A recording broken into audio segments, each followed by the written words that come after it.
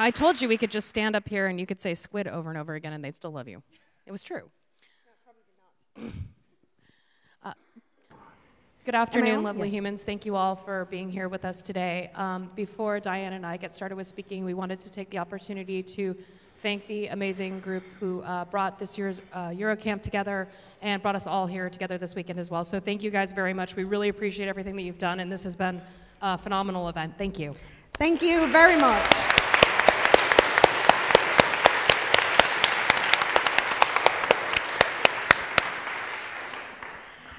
So tonight we want to talk to you about cultivating empathy, about building bridges, like the bridge we, you can see over here. Because um, as well, Leslie, as well as me, uh, though separately, but uh, we had the same experience in experiences, unfortunately, in companies and uh, communities where empathy was not uh, a high priority. And that usually leads to miscommunication, holding grudges, and in the worst place, even to contributors burning out and just leaving the whole project. So, we're hoping that our remarks here today serve as uh, useful tools for everyone in the audience to uh, understand the value of empathy, to cultivate it within themselves and their organizations, with the final goal being to make our projects, companies, and ourselves uh, better and stronger. Yes. And that's us. So, oh, it's, oh no, let's reopen it. No worries, we can deal I- with that. I can sing if you want. I, I don't Dance your name, please. dance my name. Oh, that's of the I'm gray joking. fortress, Just waterfall. We're on again, we're on again.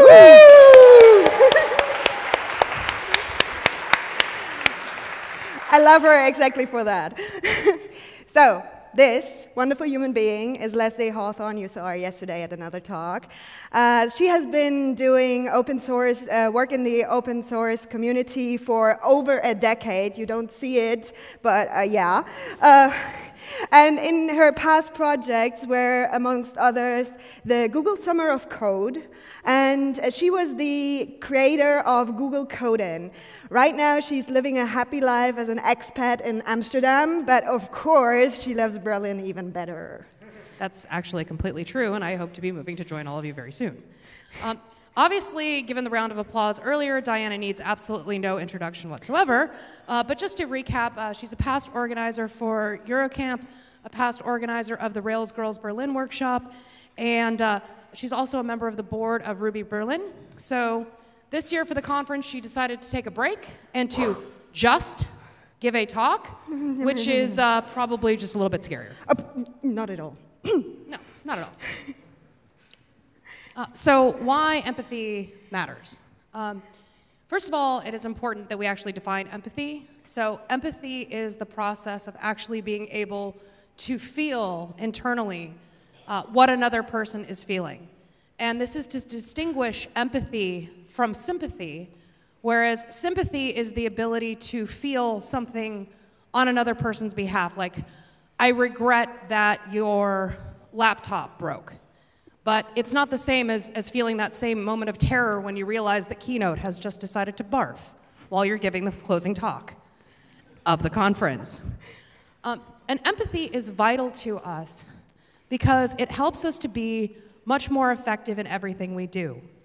Empathy helps us to build better products because we can understand our users' needs and what they will do with software that we may have created for ourselves. It helps us to work more effectively in our teams because it helps us to understand everyone's motivations and what they need to get out of our interactions in order to be successful. And basically, everything is a question of empathizing effectively because it is through empathy that we are able to create harmony. Yeah, so you're feeling into the other person, but it's also about you too, right?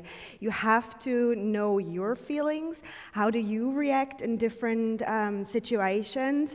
And How do you understand and uh, act differently while you are amongst our, the peers? So, how you probably react differently here at this conference than you would do, or I would do, at a board meeting, or uh, talking to a customer, right? So, empathy helps you to enlighten yourself and to learn natural self interest.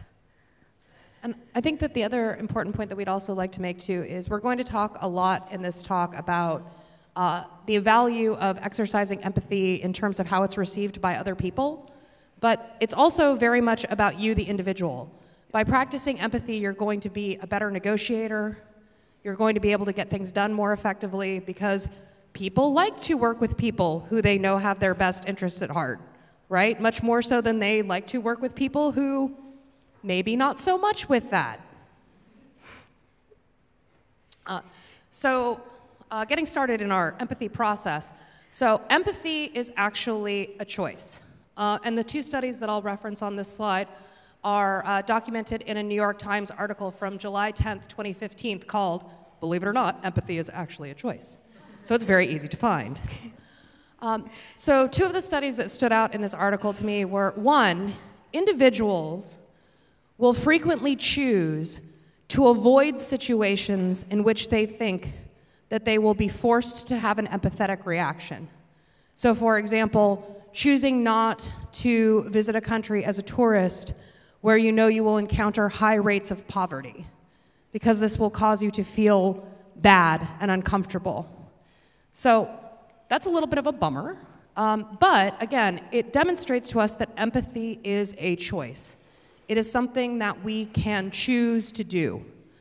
And when we understand that empathy is a choice and the value of it, we are much more likely, therefore, to exercise empathy. Um, another study uh, found that folks who were primed with the idea that empathy was a choice, that it was something that they could cultivate, that it was accessible to them, uh, were much more effectively able to feel empathy and often sought out the opportunity to do so. Uh, in this specific case, the researchers were determining if people who were taught that empathy was a learned skill would be more willing to think about and empathize with the experience of folks who were races other than their own. And there was a very positive correlation there. So, again, empathy is a choice, and it is your choice. And hopefully, today we will convince you that it's a choice you want to make. Yeah, you're talking about empathy as a choice. So, as surprising as it is, it is nothing that you are born with. You ha- you're born with maybe a bit of empathy, but it comes through socialization, through your parents, through interacting with other people. And for that, you have to be reflective. How do I be how could I be reflective? What is that?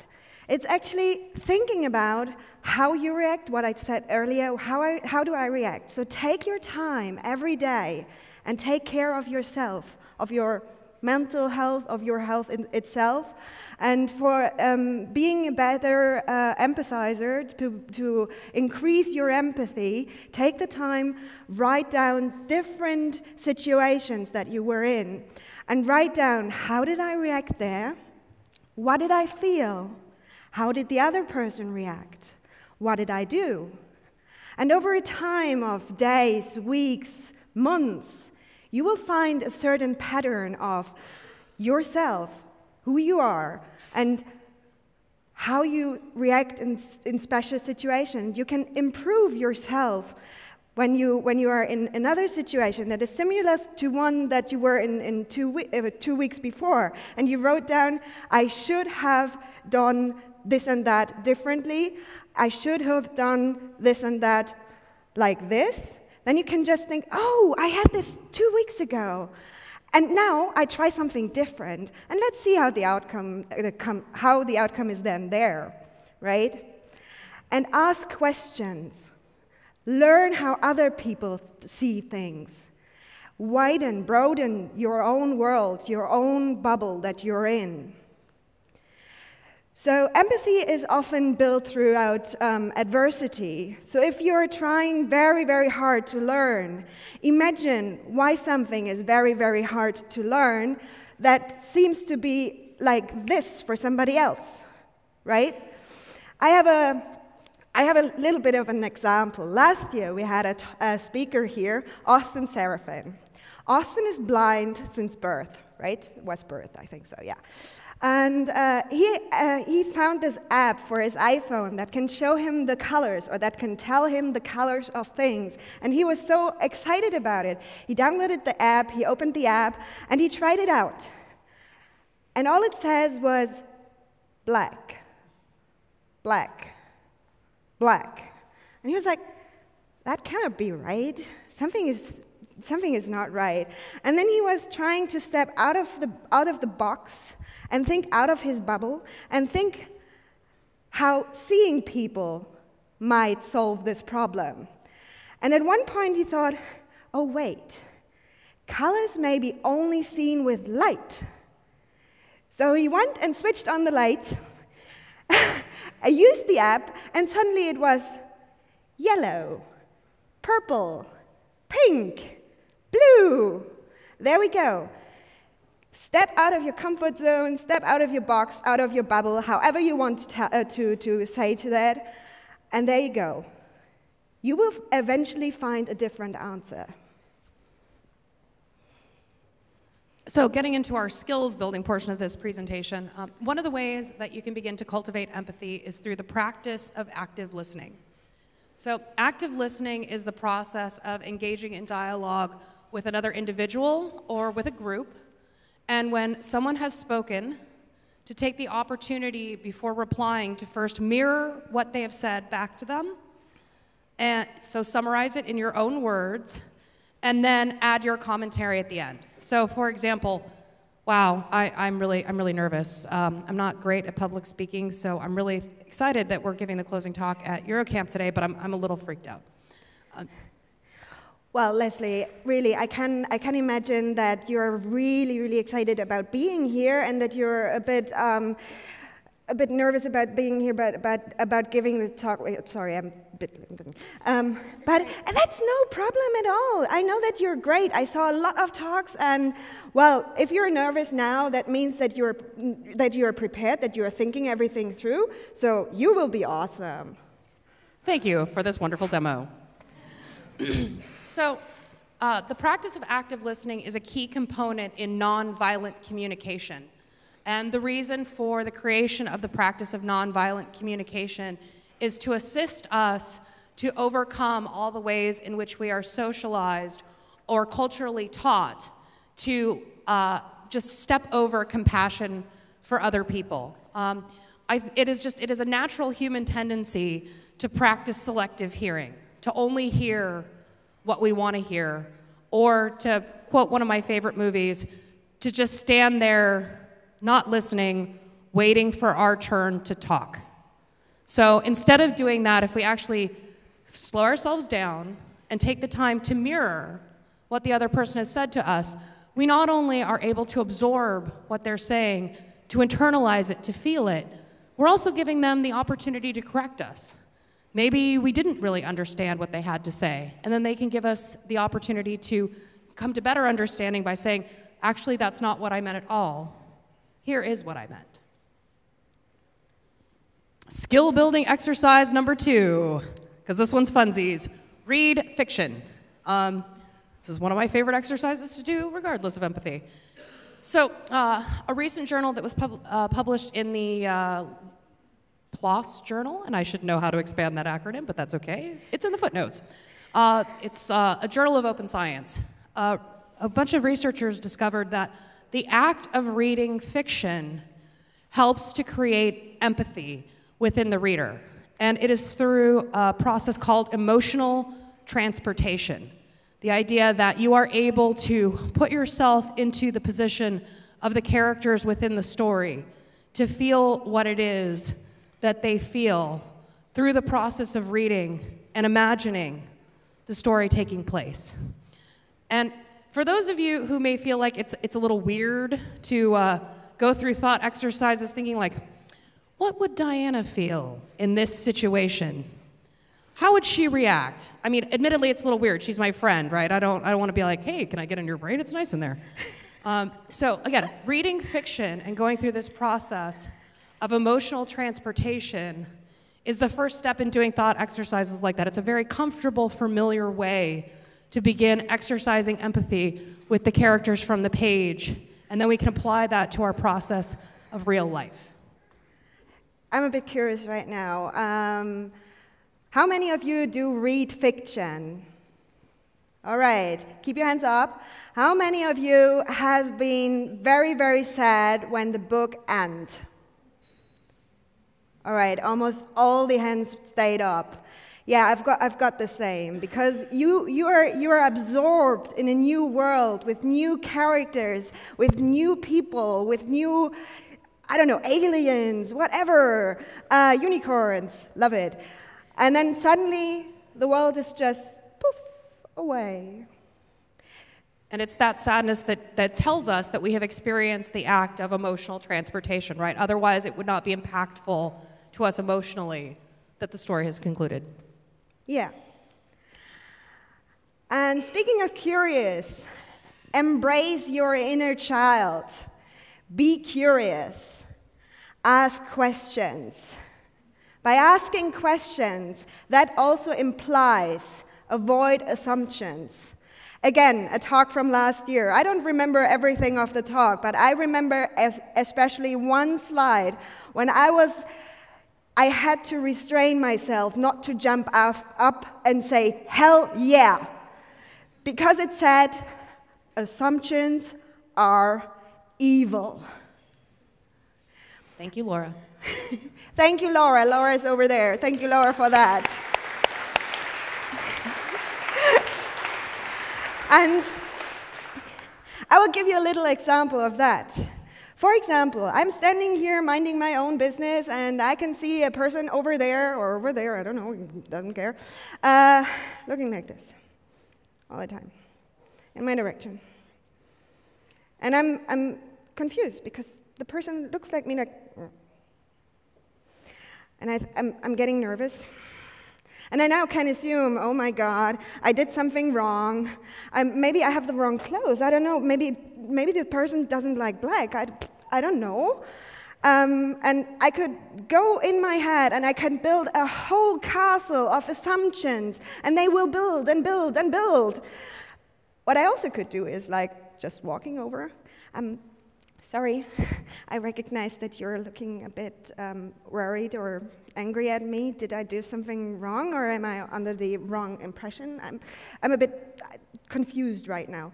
Oh my God, no, I'm, I'm so sorry, I'm so sorry. I, I was deep in thought. I have this problem, and I just cannot really, I, I don't know, I cannot get it. And I was just thinking, and I'm, I, I didn't really look. It was just that my head was in this direction.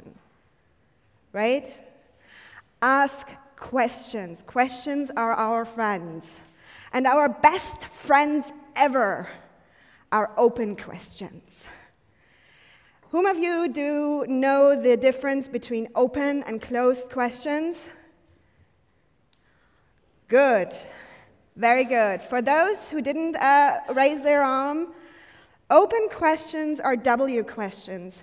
Open questions are questions that open the people. Where, when, what, why.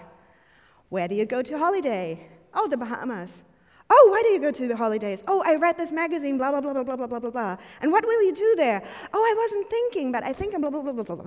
So, these are the open questions. Then there are the closed questions when you're in a hurry. Like, what do you, uh, do you want pizza to, for, for, for dinner? Yes. Do you like spinach? No. So open, open questions are mainly questions that, uh, are, that can be answered with yes, no, or yeah. so, uh, closed questions, sorry, closed questions are this. And so, just to recap, open questions are our friends. So now we're going to shift into talking more about how we can have effective organizations that help us to cultivate empathy. Um, obviously, organizations are made up of individuals, but in the way we create the culture of our organizations, our teams, and our projects, we can encourage the cultivation of empathy. Um, so I think first and foremost, very important, um, is to be explicit about our values and to be inclusive in creating those values. Um, I had another example, but I threw it away immediately when I saw the signs on the bathroom doors here, which are so freaking cool. I think I might steal one and send it to a friend of mine who I, I know needs it. So uh, the signs that say, um, if you are concerned about the gender of a person who is entering the bathroom, take these steps. Don't worry about it, they know better than you. That is phenomenal, right? It is explicit, right? Transphobia is not okay here, and it is inclusive. Transphobia is not okay here. That is phenomenal. Um, and it's extremely important to be explicit about your values because otherwise people make assumptions about what is important to the organization, to the group, to the team, right? You need to be very clear what your values are. And I know this is going to sound kind of corny because, let's face it, most of the time mission statements are crap. But mission statements are very important, right? And this isn't the kind of silly mission statement that you read, we will make the best ever chocolate chip cookies by using only the freshest ingredients. that means nothing, right? Absolutely nothing. But here, a, a very useful and good example. Uh, if folks look at ThoughtWorks' website, and they actually have a page where they talk about the pillars of their company, the things that their company values. And one of these is social justice. And they talk about how one of the objectives of their organization, the pillars around which they build their company, will be to do work that creates more justice in the world for those who are underrepresented or those who have fewer resources, those who have, are less able to help themselves. And by making this an explicit statement, what they're doing is they're not only telling the entire world, this is what is important to us, they're also giving their employees right the knowledge that this is one of the ways in which we will conduct ourselves this is how we will conduct a business this is an expectation for each of us as we go throughout our daily affairs at work that we are to do work that is transformative in the world and makes the world a better place for everyone. And another point to that that um, is, can be seen, especially in the tech scene, is globalization. Globalization means that people come into a company from very, very different backgrounds. They grew up in very different countries, under very different political um, backgrounds, and stuff like this. And things that are, that are totally normal for you in your daily life, or for you, or for you, might not be normal for the new person that comes into your company, into your team, into your project. And this comes to assumptions, right? Absolutely. Uh, another thing that is useful to understand as well when creating organizations, creating culture for those organizations, um, this is where uh, leaders come in uh, and play a very important role, an impactful role, right, by leading by example. Uh, one great instance of this is my friend Erica Joy Baker, who has been uh, blogging frequently about uh, diversity in the technology industry. she wrote a, an article called The Other Side of Diversity, about her consideration of ending her employment with Google, which is actually where I met her. Uh, and she realized that she needed to move on, but she wanted to go to a workplace where the work she did mattered, and she knew that the people that she worked with valued the same things that she did. And she talked about uh, reading Twitter and seeing all of the various news about the protests going on in Ferguson, Missouri, after the murder of a young black man by police officers. And she noted a deafening silence from most of the people that she knew who worked in the technology industry. Uh, she noticed a deafening silence from leaders in the technology industry. No one seemed to care. This was not their problem. This took place far away by people of a different socioeconomic class and a different race. Not my issue, I don't care. But by contrast, the CEO of Slack, a brand new quote unquote unicorn startup with a valuation of over a billion dollars. Y'all don't have oh, it's, billion. It's bill, uh, milliarder. Thank you. Um, valued at over a billion dollars, was tweeting his concern for the protesters and that he hoped that they would be safe in their pursuit of social justice. And by reading this, she realized that this was the company that she wanted to work for, that this was the place where she should bring her talents to bear. And she's now one of their release engineers. And having worked beside Erica, I can tell you that um, any company is, is very lucky to have her. So, again, be explicit about your values, be inclusive, and make sure that everyone is on the same page about what is important to all of you for you to be successful. Oh my God, we have hippos. They're cute. there. What They're a do little the grumpy. hippos? What do they do there? What's Okay, that? so hippos are cute, but these hippos are grumpy, and there is a reason, and that's because these hippos are letting you know to discourage hippoing. Hippoing is highest paid person's opinion is the only one that matters. Yes. So only the one on the level that begins with a C matters. CEO, CTO, C whatever. So make sure that every voice is heard in your company, in your project, in wherever you are, wherever you gather people that have to decide something. Um, I tell you a little story because that makes it more clear. In my day to day life, I organize IT conferences. I organize them with a team that is very good. Like, we, when we communicate, it's like a circle of communication. So, we are circling around all the ideas that we have, and we are playing with them. We do brainstorming sessions and stuff like this. And for one conference, there came a new person in. And this new person got grumpier and grumpier all the time with every email. And I was a li- little bit like, what's going on there? And at one point, I was there. I don't understand your emails anymore. I, they don't seem very constructive. What's going on there? And this person was just like, You're not a good manager. You cannot even make simple decisions. You cannot, uh, you cannot decide if we want the speaker or not. Why do you always have to ask us? I was like, whoa, that is interesting.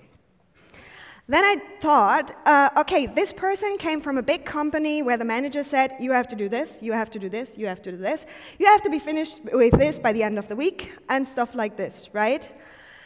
And I said, okay, we're working here differently. We are working as a team. Yes, I am the manager of this project. So I have to make sure that everyone is on track and that we are at the uh, point where we have to be finished, that we are finished and everything is set. But on the road, everybody has a voice. I don't know everything. I'm not going to all the conferences in the world. I don't know every speaker in the world. But you might know him, or you might know him. For at one point, we had, I, I read an abstract that was so perfect, and I thought, oh my God, I want to have this person at my conference because this just looks perfect for this or that or that. And then I brought this in, this abstract, and said, hey, look at this abstract, this is amazing, look at this, it would fit there. And, and then there were three voices, three, that said, nope, nope, nope. You know what? They saw this speaker at another conference, actually at two other conferences. He were mean, he was racist, and he was very, very not nice. So I said, Oh my God, I'm so happy that I asked you. We will not have this speaker at our conferences. Definitely not.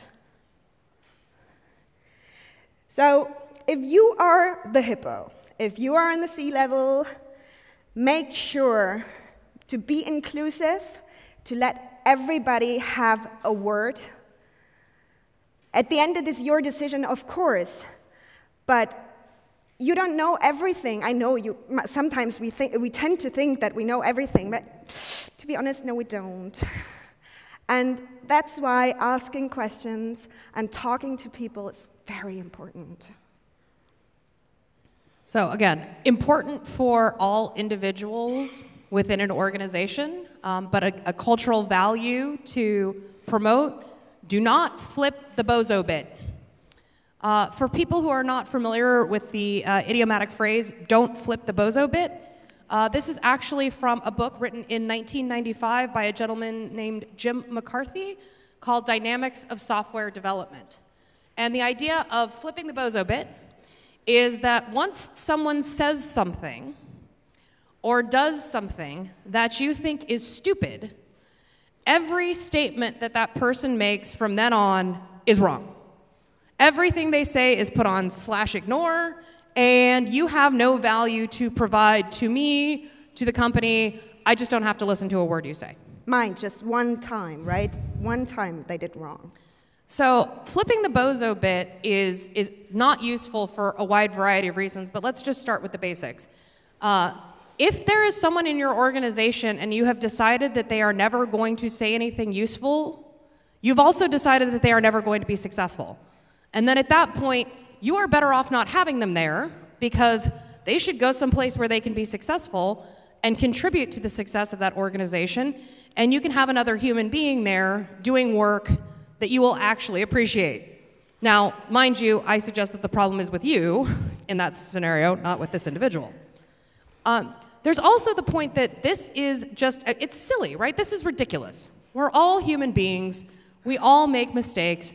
There is no reason to decide that one silly mistake defines a person forever, right? And if you make the decision to flip the bozo bit, you are cutting yourself off from the opportunity to ever learn something from that person again, right? That is not wise. And finally, organizations where this is common practice are encouraging a lack of innovation and stagnation and a lack of creativity. Because if people are afraid that if they say the wrong thing, that they will be judged, that they will no longer be respected, what will they do? They will choose to say nothing. They will choose to not contribute. Yep. They will choose to not engage because they are afraid. Yep. So, being inclusive also means make it truly okay to fail. At the end, yes, we are all human. Humans make mistakes. Surprise. And through mistakes, mistakes are actually good because through mistakes, we learn. We learn that something is not good. It's not good to leave your trash on the floor because another person might trip. So you can actually rewind what you did and do something else instead. And also, do not oppress people for making mistakes. It happens all the time. And when you find out that a person made a mistake or the person comes to you and says, I'm sorry, I made a mistake, talk to them immediately. Because otherwise, it will probably it's, it's, it's like the, the, the, assumption, the assumption thing that goes in your head and it's building up and it's building up and it's building up. Uh, that is the same with, with uh, problems. When you have a problem and you're not talking about it, it will probably grow bigger and bigger and bigger and bigger. And at one point, this whole volcano of problem will explode and you will probably sometimes say things that are not nice, that are not inclusive, and that might burn the bridges that we are trying to build up. So, my friends, our talk is at an end. Uh, and so, to just quickly recap what we've discussed today um, empathy is a choice and a learnable skill. And we can cultivate it through active listening, reading fiction. How's that for homework? Something you want to do anyway. Yes. Uh, getting to know yourself and being more self aware, practicing curiosity and avoiding assumptions. And within our organizations, we can be explicit and inclusive in our value systems, avoid hippoing. Hippos belong in the wilds, not in our offices. Uh, not flipping the bozo bit, and ensuring that it is truly okay to fail. And to quote um, or to conclude our talk with a quote from Rumi always be kind for everyone, is fighting a hard battle that you will not see. Thank you very much.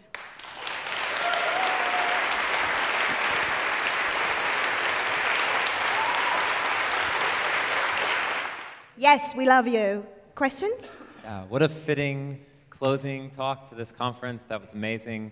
Uh, and it really shows that uh, in a, a, very innovative format as well, that the, the whole is greater than the sum of the parts. Two speakers uh, together are better than uh, individuals. So. We love it. It's true. amazing. So yeah, we can take a few questions if there are any. Is there a girl equivalent for bromance? I don't know. Is there a girl equi equivalent to bromance? Sorry, we have a questions. That's us. Anyway, yeah, question. Okay, um, not really a question, but I'd like to add to that because I absolutely agree with what you've said, and thank, thank you. you. for everything you've said. Um, but whether you follow this advice or not may uh, well decide about the future of your project or your company because I spent a couple of months in a company where uh, the C person uh, did quite the opposite and bullied people, never forgave or forgot the slightest mistake. And uh, a lot of really good, uh, knowledgeable people left, left the company. Yes, that's, that's what happens. That was, that's what happens. People are leaving uh, unhealthy environments. Yeah. I've actually talked on this topic a few times. Oh, it's for the video. We need the. Oh, it's for the video. I've actually talked on this topic a few times, and people have said, "So, so what do you? What can you do to change an organization where people are bullying or hippoing or, you know, just generally not being empathetic?" And I have racked my brain for the last year, and the answer is always the same: prepare your CV and tell your friends that you're leaving. Questions? There's also ice cream. Oh, what? We're out of ice cream, I love There's a question. What do you think for you personally has been the most uh, challenging or exciting thing that you learned that you have shared with us here? Oh, wow. Okay, um, I, I, have, I have something about the learning to be empathy thing. It's a process. Do not expect you to wake up tomorrow like, today I will be empathetic. Mm, that's not how it works. And we all, we are all humans, there we are again. We all have bad days, and um, at some point, even I, I, I tried so hard and so hard and so hard, and at one point I just flip out because somebody is pushing my button, and I'm just like, oh my God, I told you this like 10 times. Uh, probably not the best answer. So, I think for me, the most profound thing that I have learned is actually the process of active listening uh, because I speak really, really fast. I have a tendency to interrupt, which is not awesome, and I'm constantly working on it. And I also think I know what people are talking about because I'm super smart. and the answer to that question is no. No, no, no, no, no. Um, so actually getting trained in active listening and being able to to go through that process and because at first it sounds a little silly like yeah yeah you're listening um, why are you summarizing stuff? This is annoying. But but realizing how much closer it brings you to someone because uh, human communication is flawed and difficult and we just think it's easy because we can talk. So clearly communication is easy. There are words coming out of my mouth right now. Um, and it's not, right? And, and active listening teaches us, you know, that it's not easy and that it is a, a skill that we acquire and something that we have to work on every day to be effective. And if you never practice it, the first time or the first few times that you will practice it, it will feel totally silly. You, you will feel yes. like an idiot. And it's okay. Just, it's okay. Just push through. It will all get better. More? Again, there we go. Anyone else? You get another one then.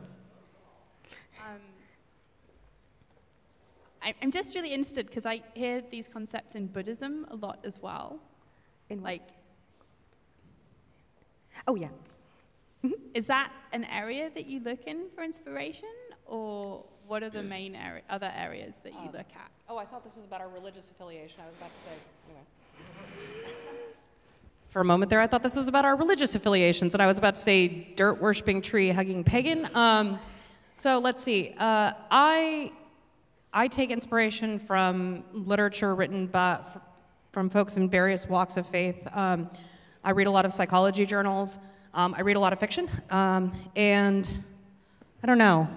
I think I just have learned partially to be a more empathetic person because sometimes things were really tough for me. Um, when I was younger, I was bullied in school, and it taught me like I don't ever want someone to feel as bad as I feel right now. Uh, and because of that, it, it helped me to be a more empathetic person, right? To value, to value bringing joy and love to someone's life instead of pain and not ever wanting to be the person who was the source of pain for another person because I knew how bad it felt myself. What she said. We were separated at birth. Don't tell anyone. Other nice humans? Okay, thank you. Oh, thank you very much.